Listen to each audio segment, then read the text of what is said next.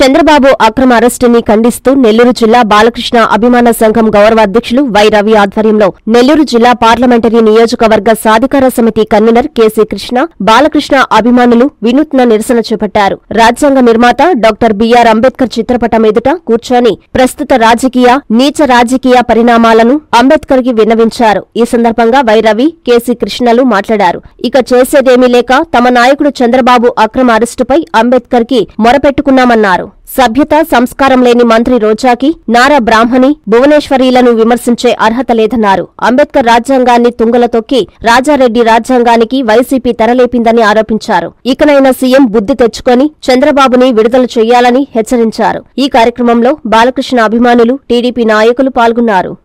ఏ అదృశ్యత్వాలు ఆయన వెనకాల ఉన్నాయో కానీ కక్ష సాధింపు చర్యల్లో భాగంగా మహా ఇదిగా అతను వేధిస్తున్నారు ఆయన ఆ వయసును కూడా దృష్టిలో పెట్టుకో పెట్టుకోకుండా హింసిస్తున్నారు కానీ ఒప్పుకుంటాం తప్పు చేస్తే డెబ్బై నాలుగు కాదు వందేళ్ళకైనా శిక్ష పడాల్సిందే. ఏ మచ్చాలు లేని మా చంద్రబాబు నాయుడికి ఈ శిక్ష విధిస్తుంటే చాలా బాధాకరంగా ఉంది. మా వయసుకు తగ్గట్టు మా స్థాయికి తగ్గట్టు ఇరవై ఆరు రోజుల నుంచి నిరసన కార్యక్రమాలు చేపడుతున్నాం.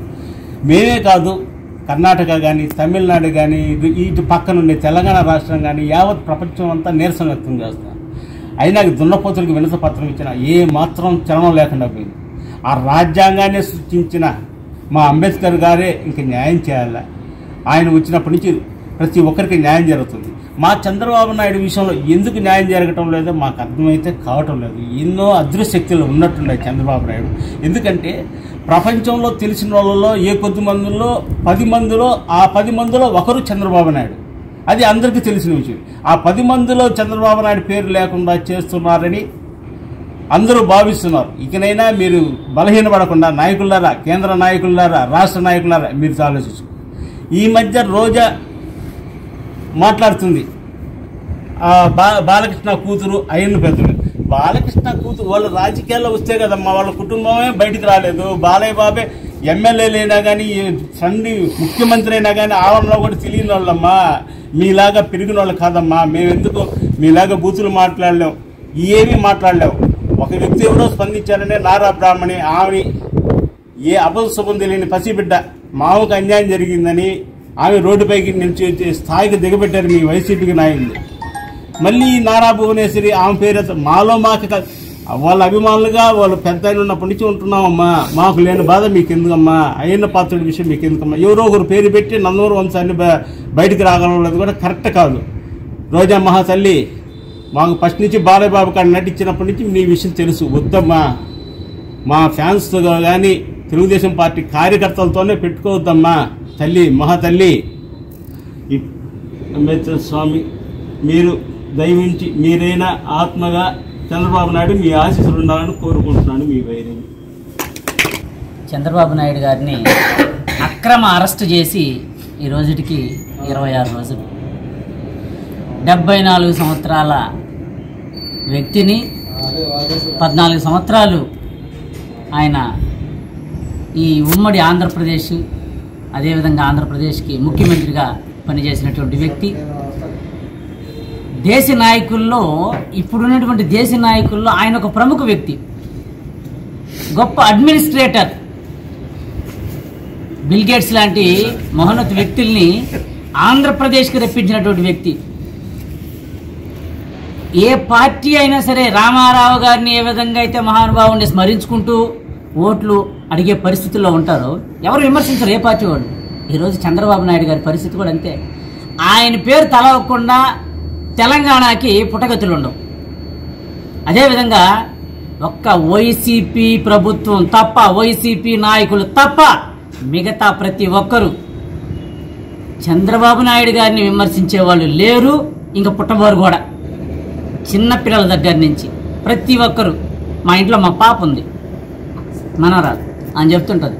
అడుగు తాతయ్య నేను ఆ విధంగా అందరి దగ్గర ఆయన అంత మంచిదని వీళ్ళకేం పాడు బుద్ధి పుట్టిందో ఆయన గద్దెనెక్కిన రోజు నుంచి ఇల్లు కూలగొట్టడాలు.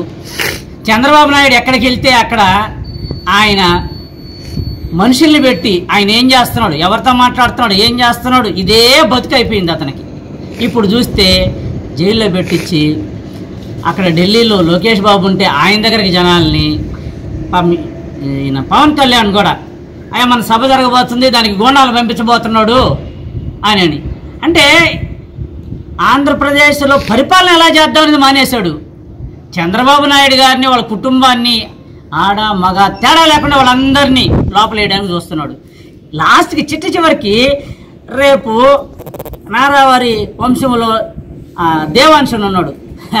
ఆ అబ్బాయి కూడా భయపడే స్థితికి వచ్చేసాడు. చాలా ఇబ్బందిగా ఉంది. బయటకు వస్తే తెరలు కట్టుకొని వస్తాడు. ఏంటయ్యా ఇది?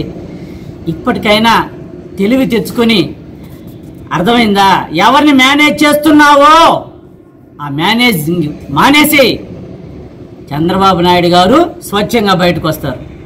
మహానుభావుడు అంబేద్కర్ రాసినటువంటి రాజ్యాంగాన్నే భ్రష్టు పెట్టిస్తున్నటువంటి భ్రష్టులు అయిపోయినారే ప్రజలకేం సేవ చేస్తారు మీరు? ఒక్క కార్యక్రమం అన్న ఉందా ప్రజలకు ఉపయోగపడేది? అందుకే ఎక్కడెక్కడంటే గాంధీ గారికి వినతి పత్రం ఇచ్చాం. లాస్ట్కి